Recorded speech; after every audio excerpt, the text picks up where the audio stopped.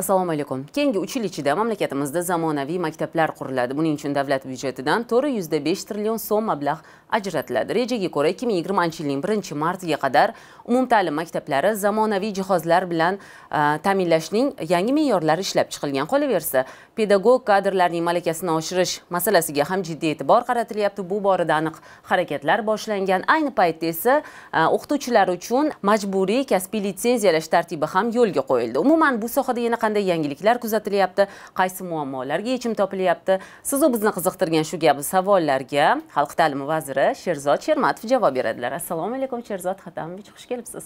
Va alaykum assalom suhbatimizni e, zamonaviy maktablar haqidagi savol bilan boshlamoqchi edim. Bunday maktablarning loyihasi qanday bo'ladi? Ulardagi sharoitlar e, pedagoglar masalasi e, umuman ta'lim sifati amaldagi maktablarnikidan qanday farq qiladi? Endi zamonaviy maktab deganda albatta bu faqat maktabni ko'rinishi emas yoki maktabni jihozi emas. Umuman ichini ham qayta ko'rib chiqishimiz kerak. Shuning uchun mana yaqinda prezidentimizdan alohida qarorlari chiqdi.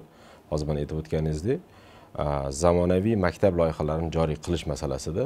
Shu paytgacha nima bo'lgan? Shu paytgacha investitsiya dasturi bo'lgan. Investitsiya dasturida faqat maktablarga hududiy e, viloyat hokimlariga pul ajratilgan qanaqadir maktablar e, ta'mirlash ishlari amalga oshirilgan nimadir qilinganu lekin uni e, qaysidir alohida talablarga javob berilishi bir sifati boshqasiga uncha e'tibor qaratilmagan desa ham bo'ladi. Chunki endi asosiy e'tibor baribir endi shu paytgacha shu litsey kollejlar darajasida bo'lgan edi. Endi shunga hozir vazifa qo'yildi.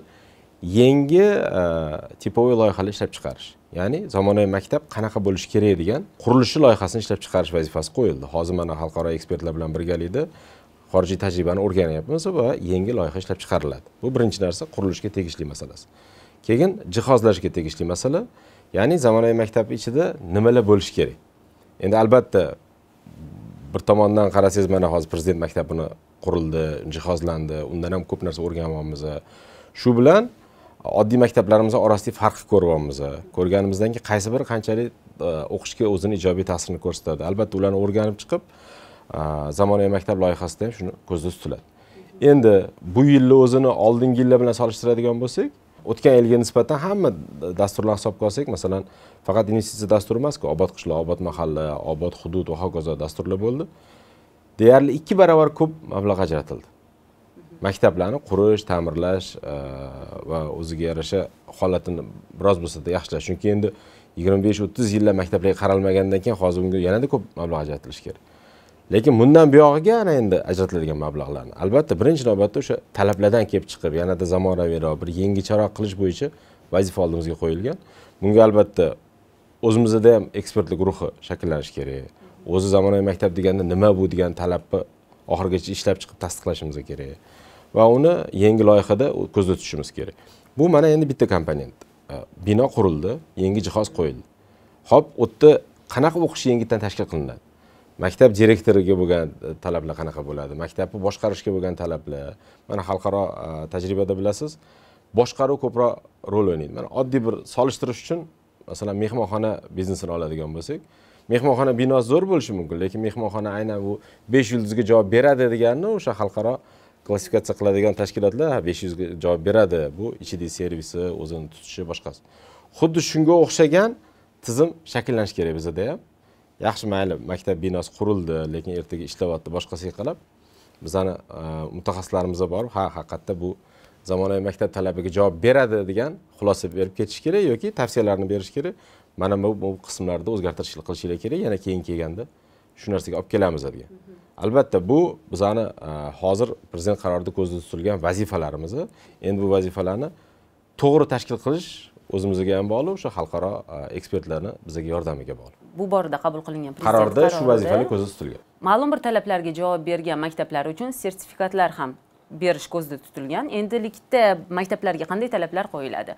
Va ana shu sertifikatlar hujjatlar o'sha maktabga qaysi imkoniyatlar eshigini ochishi mumkin? Endi e, bu zamonaviy maktab degandan keyin albatta bu maktabga nisbatan biz u yerda oyliklarni e, ham ko'zda ko'paytirish ko'zda tutyapmiz. Ya'ni zamonaviy maktab statusiga ega bo'lgan maktab bo'lgandan keyin albatta u yerda ishlayotgan xodimlar pedagoglarni ham nisbatan oyligi qolganlarga nisbatan yaxshiroq bo'lishi nazarda tutiladi shunda qolgan maktablarimizga ham stimul bo'ladiki keyin shu talablarga qarab biz ham harakat qilaylik o'zimizni ko'rsataylik degandek qolganlar ham shuni qatoriga kelishadi. Shundan keyin sekin sekin o'sha hozir mana o'n mingta maktabimiz bo'ladigan bo'lsa hammasi borib borib e, zamonaviy maktabga aylanishi kerak. Albatta bu juda katta xarajat talab qiladigan masala ham hamma tomondan harakat talab qiladigan masala. Chunki juda ko'p maktablarimizda mana hozir yaxshi remont qilib qo'yildi yaxshi jihoz qilib qo'yildi lekin ichida mazmun o'zgardimi degan savol borda. Ta'lim berish ta'lim berishi odam o'zini tutishi ota ona bilan bo'lgan munosabat. Tubdan yangilanadi. Tubdan yangilanishi kerakda endi u oson narsa emas. Hozir shuning uchun juda katta narsani tog'ni va'da qilish kerak emas. Buning uchun biz o'zimizda birinchi ekspertlik guruh shakllanishi kerak u xalqaro tajriba o'rganish kerak talablar ishlab chiqarilishi kerak u bo'yicha trening qilinishi kerak. Bu juda katta jarayon. Shu jarayonga hozir mana boshlab berildi. Yuqorida o'n mingta maktabning barchasi deyapsiz. Demak mamlakatimizdagi barcha maktablar zamonaviy maktab bo'lishi kerak. tizimiga o'tkaziladi vaqti bilan. Vaqti bilan. Lekin hali aytgandek vaqt mablag' shuning uchun konsepsiyada ham hali ikki ming o'ttizinchi yilga ham taxminan bir ellik foizi kamida o'tishi kerak degan vazifa qo'yganmiz. Hozir juda ko'p maktablarda yaxshi pedagoglar yetishmovchiligi masalasi o'sha aniq fanlardan ingliz tili rus tili xullas o'qituvchilar yetishmovchiligi muammosi bu eng og'riqli muammolarimizdan ana shu muammolar bilan biz zamonaviy maktablar faoliyatini qanday yo'lga qo'yamiz? Muammolar yechish kerak. Muammo bor ekan deb o'tirganda nima foydasi bor? Hozir birinchi navbatda mana oxirgi e, bir yarim yilda bo'lgan e'tibor nima bo'ldi o'qituvchi kasbini nufuzi oshirilishi boshlandi. Muammo qayerdan kelib chiqdi? O'qituvchi kasbiga nufuz bo'lmagan. Oldin mana uch yil oldingi bo'lgan e, so'rovlarda ota onalardan so'ralganda farzandingiz o'qituvchi bo'lishni xohlaysizmi aksariyati yo'q degan. Eng yomoni o'qituvchilarni o'zidan so'ralganda farzandingizni o'qituvchi bo'lishni xohlaysizmi degan. Bular undan ko'pi yo mani bolam o'qituvchi bo'lmasin degan. Chunki o'qituvchi kasbini qiyinchiligini ko'rgan. Paxta ham tergan mana shu paytda ham paxta paxtalasida bo'lgan. Ko'cha ham supurgan va hokazo va hokazo endi albatta bizada shunaqa narsaki yaxshi narsaga tez o'rganamiz. Bo'ldi xuddi bu o'zidan o'zi bo'lib qoldi hammasi joyida degan fikrda bo'lib qolinadida. Lekin bu narsaga ham o'sha siyosiy iroda prezidentimiz hatto turgani uchun joylarda shu narsaga chek qo'yildida. Ana endi odamlarni dunyoqarashi o'zgaryapti endi yaxshi o'quvchilar mana maktablarda hozir so'rov o'tkazilganda ko'pchilik o'quvchilar endi o'qituvchi bo'laman degan kasbni tanlayapti o'sha a'lochi o'zini ustida harakat qilaman degan o'quvchilar o'qituvchi bo'laman deyapti demak bu kasbga hurmat shakllandi. Hurmat shakllandi. Bolalarni orasida ijobiy tendensiya paydo bo'ldi. Ana endi shu o'qituvchilar kirib kelishni boshlaydi sohaga. Lekin e, pedagog yetishmaslik masalasida bu yerda ham tushuntirish berib ketishim kerak. U butun respublika bo'yicha hamma yerda pedagog yetishmaydi degan gap yo'q. Pedagog ruscha maktablarda beshinchi sinfdan keyin predmetlar yo'nalishida yetishmaydi. Toshkentda pedagog yetishmaydi. Aynan rus tili maktablarida boshqa predmetlar yo'nalishda masalan boshlang'ich maktabda bitta pedagog dars bersa keyin beshinchi sinfdan keyin matematika fizika va hokazo boshqa predmetlardan ana shularda rus tilida dars beradigan pedagog yetishmaydi. Chunki shuncha yil davomida tayinlanmagan lekin viloyatlarga chiqadigan bo'lsak o'zbek maktablariga boradigan bo'lsak uzoq uzoq hududlarimizda bitta pedagogik stavkada uchta to'rttala pedagoglar dars berayotgan holatlarimiz ham bor. Aksariyat maktablarimiz bizani qishloqlarda joylashgan. Toshkent shahrida javob beradi toshkent shahrida uch yuz uch yuz to'qqiztagina maktab joylashgan. Bizada o'n mingta maktab. Mhm. yana zamonaviy maktablar haqida so'ramoqchi edim. Xalqaro tajribadan ham ma'lumki zamonaviy maktablar uchun zamonaviy boshqaruv kerak. O'zingiz ham yuqorida aytib o'tdingiz. Bu masalaga ham e'tibor qaratildi va menimcha adashmasam to'rt ming nafar maktab e, direktorlari malaka oshirish kurslarida o'qib chiqishdi. To'g'rimi natija qanday bo'ldi? Ular e, o'zlari rahbarlik qilayotgan o'sha maktablarda qanday e, bir ijobiy natijalar ko'rsatishdi? Bu zamonaviy e, boshqaruv vaqti bilan joriy qilinadigan narsa. Ya'ni har biri biz hozir asosiy talabni nima qo'yganmiz. Shu avloniy malaka oshirish markazida kirgan maktab direktori chiqquncha o'zini loyihasini qiladi. Ya'ni man maktabimga borganimda nima o'zgarishlar qilaman deb o'zini taqdimnomasini tayyorlaydi ya'ni prezentatsiya qiladi. Ya'ni shu o'rganadida ish rejasini keyin borganda mana man maktabda shuni qilaman deydi. Siz aytganingizdek xuddi bizdan so'raydigan asosiy savolimiz ham shu. Ho'p mana o'qib ketding o'qib ketganingdan keyin nima qilasan degan savol nima qilding yoki nima qilasan? nima qilding? Lekin albatta yaxshi ijobiy qiladiganlari ham bor. Masalan yangicha qo'shimcha to'garaklar ochgani yangi bir e, maktabga menejer sifatida byudjetdan tashqari daromad orttiradiganlari bor. Masalan nima deydi? Maktabda oddiy elementar narsalar bor. Maktabni tomida antenna turgan turibdi lekin shundan tushayotgan pulni nazorat qilishni bilmaydigan direktorlarimiz bor edi. Yoki maktabni bir hududini arendaga berib qo'yibdi deylik undan ham qancha pul tushyapti shu pulni qayerqa ishlatyapti shu narsani bilmaydigan direktorlarimiz bor. Hozir yangi o'qiganlarimiz juda bo'lmasa shuni tushunib haqiqatda ha shundan pul tushirib shundan maktabimga foyda ishlatsa bo'lar ekan ta'lim sifatini oshirish kerak biron bir moddiy e, nimadir sotib olsa bo'ladi degan narsani ishlatadigan direktorlarimiz paydo bo'ldi. Lekin eng asosiy muammo haligi o'sha saviya. Saviya o'sha direktorlarimizni ham saviyasi qanaqa? Uch yil oldingi holat bilan hozirgini men solishtiryapman uch yil oldin qaysi direktor yaxshi edi? Kim paxta dalasiga ko'proq odam olib chiqsa va kim shu o'qituvchilar orasida janjal ko'tartirmasa o'sha direktor yaxshi bo'lganda birdan o'sha direktorlar aylanib zamonaviy pedagog zo'r menejer bo'lib qolgani yo'qda aksariyat holatda o'sha direktorlarni o'zi turibdi. Endi mana kuzatuv kengashlari tuzilib endi yangi direktorlar saylanib yangi bo'ladi. Lekin o'sha odamlarni o'zi yo'qda shuning uchun sekin sekin bu vaqt talab qiladigan narsa. Demak yana yana litsenzирование masalasi. Ha. Nimaga litsenzирование masalasi kelib chiqdi? Man endi savol berishingizdan oldin o'zim e, aytib qo'ya qolay deyapman vaqt chegaralangani hisobga olib mana butun dunyoda bizda endi litsenziya so'zi qanaqadir bir e, salbiy e, ohang beradigan so'z bo'lib qolgan. Nimagadir e, boshqa boshqa sohalarda endi litsenziya albatta qanaqadir korrupsiyaga olib kelishi mumkin qanaqadir bir cheklovchi xususiyatga ega bo'lgan narsa deb qarab kelinadi. To'g'ri qaysidir sohalarda tadbirkorlikda boshqada litsenziya shunaqa bir sabablarga bo'lib qolishi mumkin narsa. Lekin dunyoda mana mashina haydashingiz uchun drivers license deydi. Ya'ni haydovchilikni huquqini beradigan hujjat. Endi mana chet ellik ekspertlar ham berayotgan savoli mashinada odam o'zi yoki yonida o'tirgan to'rtta hamrohini xavfsizligi nima avariyaga tushib qolmasligi uchun unga huquq beriladi. San moshina haydashing mumkin degan huquq beriladi. Lekin sinfda mana o'ttizta bolani taqdirini boshqarishga bemalol odamni kiritib yuboryapsizlar u odam bilimi bormi odam psixologik to'g'rimi? Metodikasi bormi degan savollarga qanaqa javob berasizlar? Degan savolga haqiqatda javob yo'q. O'ylantiradi. Rivojlangan davlatlarda o'sha e, amerika qo'shma shtatlari deymiz yevropami osiyo rivojlangan davlatlarda hammasida o'qituvchi kasbiga kirish uchun bolalarga dars berish uchun o'sha ruxsatnomani oladi.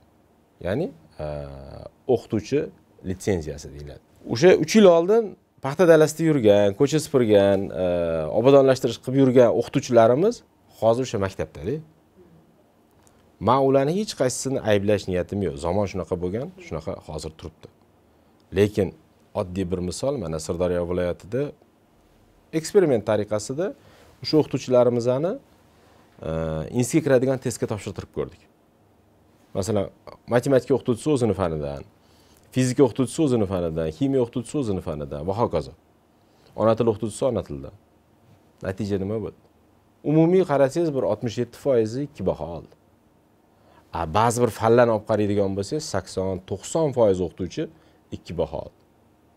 Ya'ni o'qituvchini o'zi masalan matematika fizika ximiya o'qituvchisini o'zi shu institutga kiradigan e, testdan ikki baho olib tursa uni bolasi qanaqa qilib institutga kiradi?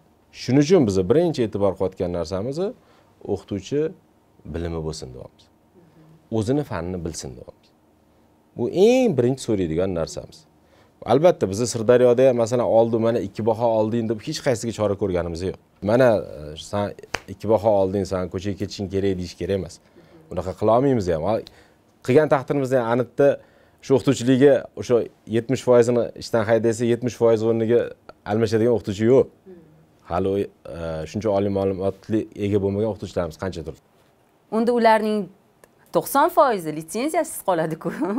U tizimdan o'tolmaydiku shuning uchun haligi gapda shoshilish kerak emas hech kim uni ertaga ham men litsenziya olasan degan vazifa qo'yilgani yo'q. Ya'ni vaqt beriladi. Vaqt beriladi tayyorgarchilik qilinadi.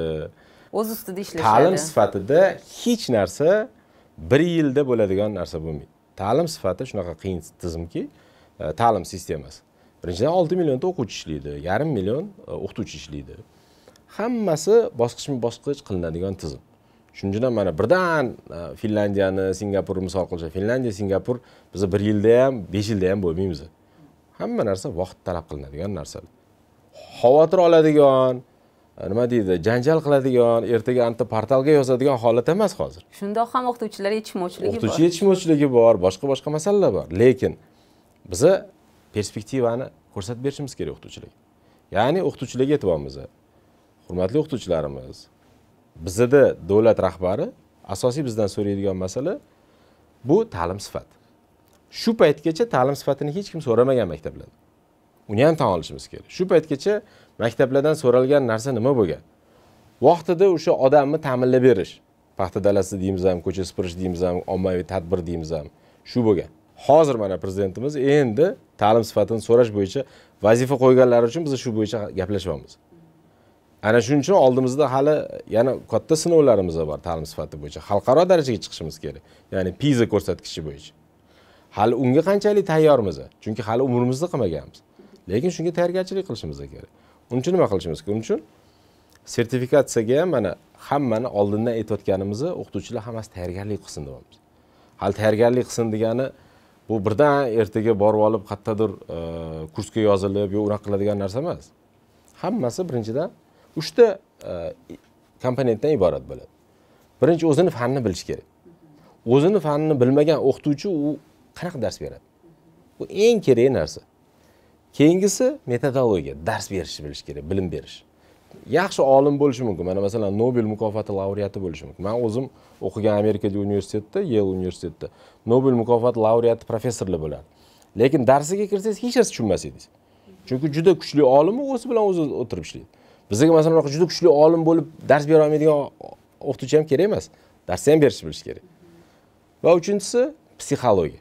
Ya'ni shuncha o'ttiz beshta bola bilan ishlash uchun psixologik tayyor bo'lishi kerak o'qituvchi. Mana hozir internetda o'qiyapmiz o'qituvchi bolani urdi. Uyda masalan e, urushib kelgan ekan boladan alamini oldi va hokazo va hokazo. Psixologik sinovdan ham o'tish kerak. Mana mana shu uchta komponent bo'lgandan keyin o'qituvchini litsenziyaga ega bo'ladi. Endi litsenziya bo'yicha ham ikki ming yigirma birinchi yilda besh foiz o'qituvchini litsenziyaga ega bo'lishni rejalashtirganmiz. Faraz qilyapsizmi ikki ming yigirma birinchi yil besh foiz. Hech kim sizga bir yilda hammasini yuz foiz qilaman degan u utopiya bo'ladi u quruq gap bo'lib qoladi. Chunki u shuncha o'qituvchi tayyor emas. Endi shu besh foiz uchun biz nima qilmoqchimiz? Aynan birinchi navbatda shularni oyligini oshiradigan tizim qilmoqchimiz. Jazolashdan boshlash kerak emas. Jazolash oson narsa. Shuncha yil jazolab kelib bo'ldi.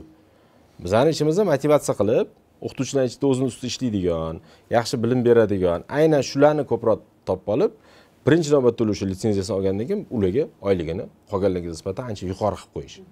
Agar shunaqa sxema ishlaydigan bo'lsa sekin sekin sohaga ko'proq odam kelaveradi. Ya'ni tizim juda kattaki arzimagan oylik oshirsangiz ham nechidir trillionlar bo'lib ketadi. Bu trillionlar bo'ldi degani byudjetga zarar degani. Byudjet qayerdan oladi. Byudjet uni iqtisodiyotni soliq ko'paytirishdan soliq ko'tara olmaydi iqtisodiyotimiz.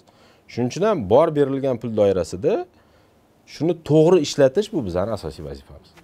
Besh foiz ikki ming yigirma birinchi yilgacha e, sertifikatsiyalashdan o'tadi deyapsiz. Agar o'shalarning ichida qanchadir qismi litsenziya ololmasa ularning ishiga bu qanday ta'sir ko'rsatadi? Xuddi hozir ishlayotgandek ishlab turadi hozircha. To yuz foizga chiqmagunimizcha yuz foiz chiqib olsa unda keyingi gap.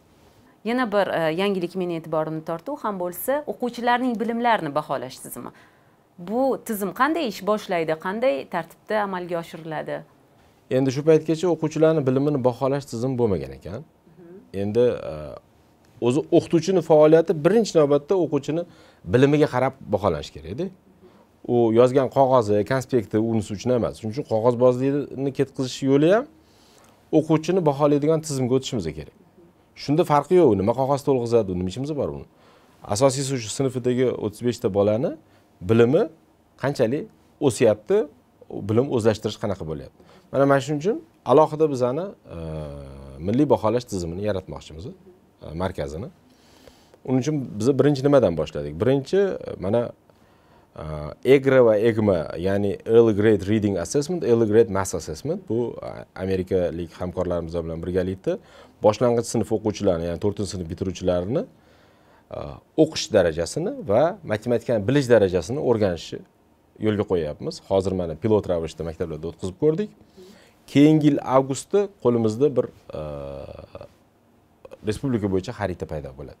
Ya'ni qaysi viloyatda qaysi tumanda qaysi maktabda qanchalik e, boshlang'ich sinf bilimi yaxshi qayerda yomon. Shundan keyin shu diagnozdan kelib chora tadbir ishlab chiqara olamiz.